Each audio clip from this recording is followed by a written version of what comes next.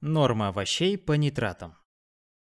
Поэтому, заключают исследователи, мы поддерживаем диету с высоким содержанием нитратов для лечения гипертонии, предгипертонии и для защиты людей, подверженных риску неблагоприятных сосудистых происшествий, таких как сердечные приступы. Итак, если вы хотите попробовать это дома, либо чтобы улучшить свои спортивные результаты или защитить себя от сердечно-сосудистых заболеваний, какие продукты являются лучшими источниками?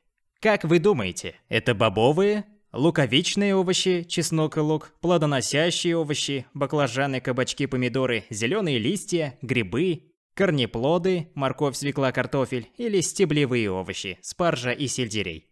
В миллиграммах на 100 грамм порции зеленые побеждают. Вот десятка широко доступных источников. Со всеми этими разговорами о свекольном соке можно подумать, что свекла может быть номером один, но она едва попала в первую десятку. В швейцарском мангольде больше, затем идет салат из дубовых листьев, затем свекольная зелень, базилик, весенняя зелень, такая как смесь мисклуна, листовой салат латук, кинза, ревень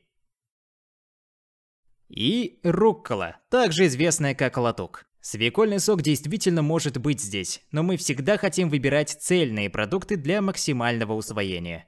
Как видите, на самом деле был один стеблевой овощ. И даже попал на второе место – ревень. Но 8 из первой десятки – это зеленые листовые. Причем победителем с большим отрывом стала руккола.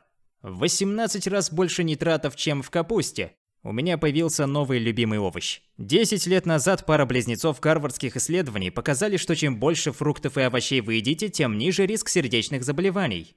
Самый мощный защитник – это зеленые листовые овощи. И теперь, возможно, мы знаем почему.